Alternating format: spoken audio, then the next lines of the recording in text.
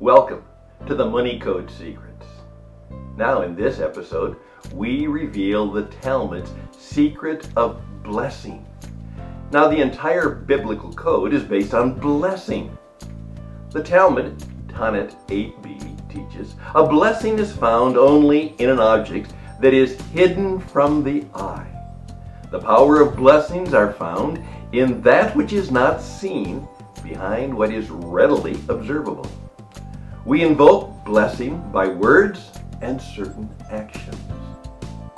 Deuteronomy 10:12 states, "What does the Lord your God require of you?"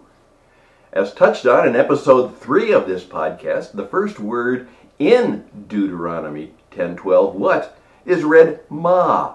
The two sacred Jewish texts, the Talmud, Menachot 43b, completely decodes Deuteronomy 10:12 for us by explaining that the word ma can be read as mi'ah, meaning 100. The only thing God requires for us is to say at least 100 thank yous and blessings every day. This is the Jewish secret to success and garnering God's blessing. By living a life immersed in constantly reciting blessings, expressing gratitude, and thanking God, Jews live a blessed life connected to the divine. The sages wrote, Berakhot 35a, that a general principle may be derived. Any item from which one derives benefit requires a blessing. One is forbidden to derive benefit from this world without a blessing. Or in other words, we must be thankful for every good thing we receive in life. Now, the Talmud acknowledges that astrology does influence a person's destiny and even financial status. However, the Talmud, Shabbat 156a, teaches that there are no negative astrological influences for those that believe in God, as it is stated in Jeremiah 10:2. Thus said the Lord, Learn not the ways of the nations, and be not dismayed at the signs of heaven, for the nations are dismayed at them. The nations will be dismayed by them, but not God's people. This makes supernatural occurrences and great blessings possible and avoids negative astrological predictions about finances.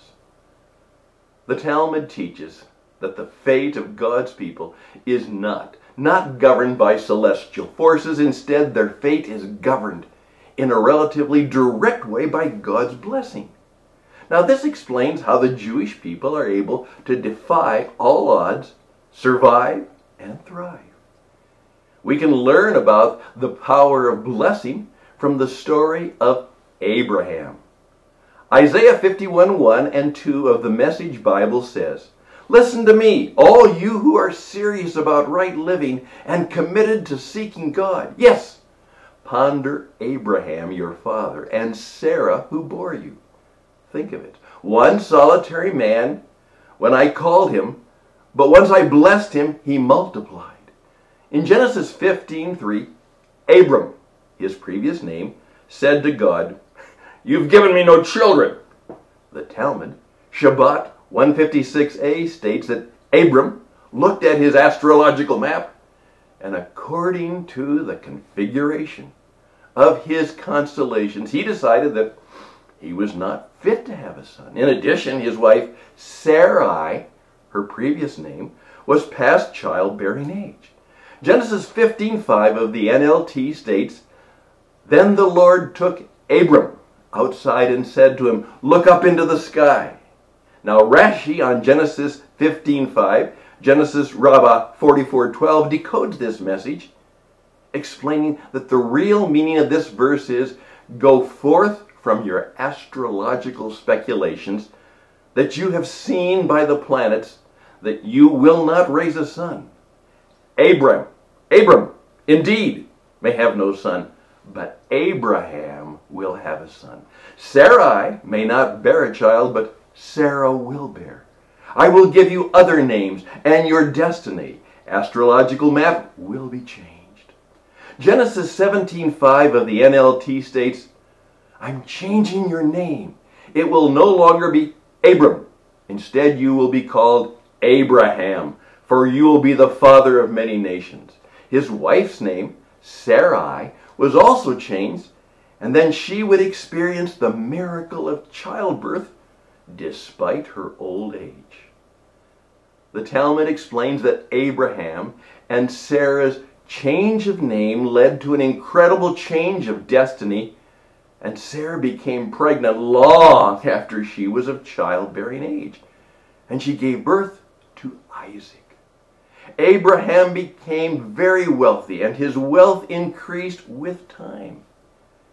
Names are considered very significant in Judaism. Therefore, parents must choose their child's name wisely. The sages, Midrash Tanhuma Ha'azinu 7, states that a name influences a person's behavior and destiny. A recent article in the Wall Street Journal entitled, What's in a Name? In Thailand, it may bring a change. Describes how in Thailand, when faced with a, a patch of bad luck, many are changing their names to create better prospects. Now the Talmud, Rosh Hashanah 16b, reveals to us the secrets of changing one's destiny and bringing about blessing and wealth and even avoiding an early death. It states, Five things cancel the terrible fate of man, namely charity, supplication, change of name, change of conduct, and change of place. Charity, as it is written in Proverbs 10:2, and charity delivereth from death. Supplication, as it is written, Psalm 107:6, then they cried unto the Lord in their trouble, and he delivered them out of their distresses. Change of name, as it is written, Genesis 17:15. As for Sarai, thy wife, thou shalt not call her Sarai, but Sarah shall be. That's her name. And it continues, and I will bless her, and moreover I will give thee a son of her. Change of conduct, as is written, Jonah 3:10, as God saw their works, and it continues, and God repented of the evil which he said he would do unto them, and he did it not. Change of place, as it is written, Genesis 12:1.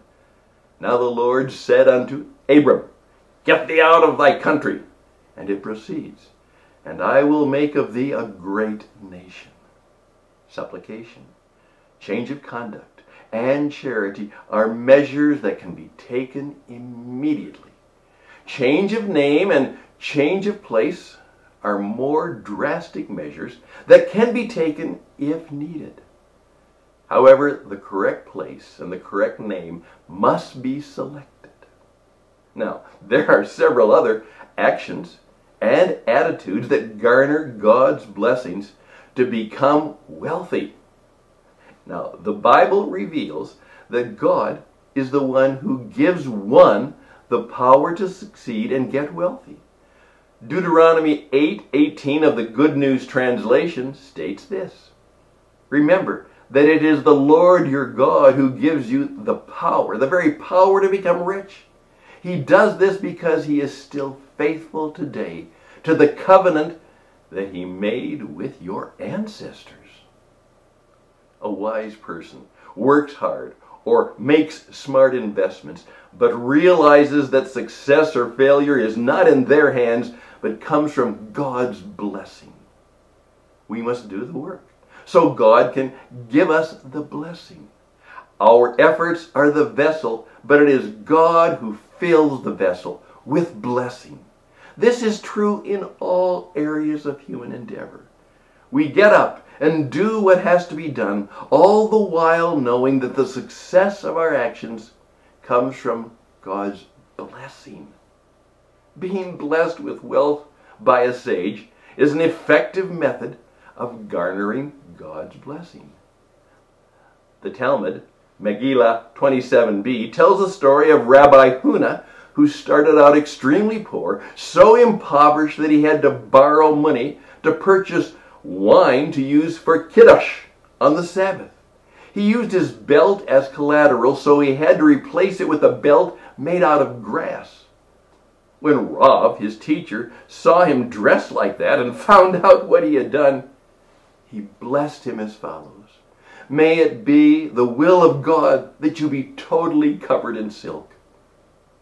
The blessing worked because Rabbi Huna became very wealthy. In fact, one time, Rabbi Huna, who was extremely short, was lying on a bed. It seems that he was not noticed, and his daughter and daughters-in-law came to the house and threw their expensive silk garments on the bed so that he was literally covered in silk.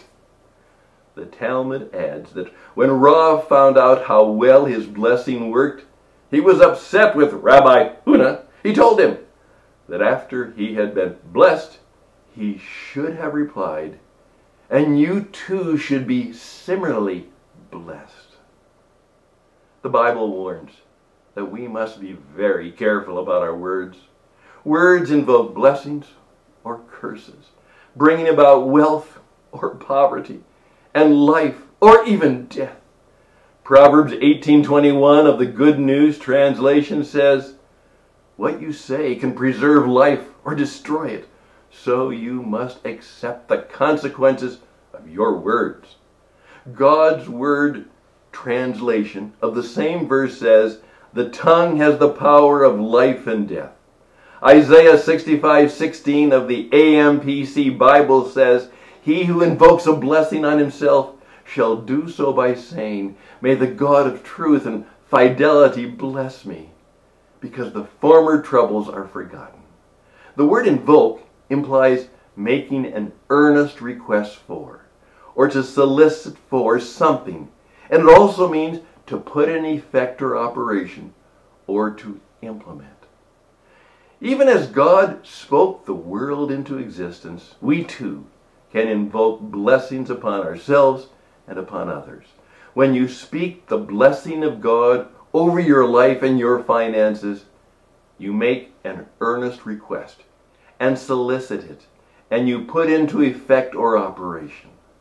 That is why God told Moses, CEV Numbers 624 to 26, to bless the Israelites with these words. I pray that the Lord will bless and protect you, and that he will show you mercy and great kindness May the Lord be good to you and give you peace.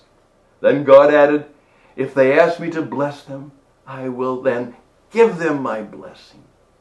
Speak blessings over your finances like in Isaiah 65, 16, invoking God's blessings. Daily repeat thank you over your finances, being grateful for what little you have to change things for the better. Now, there are several other effective ways to garner God's blessing, which we will discuss in future episodes. So please join us. Subscribe to our podcast and our YouTube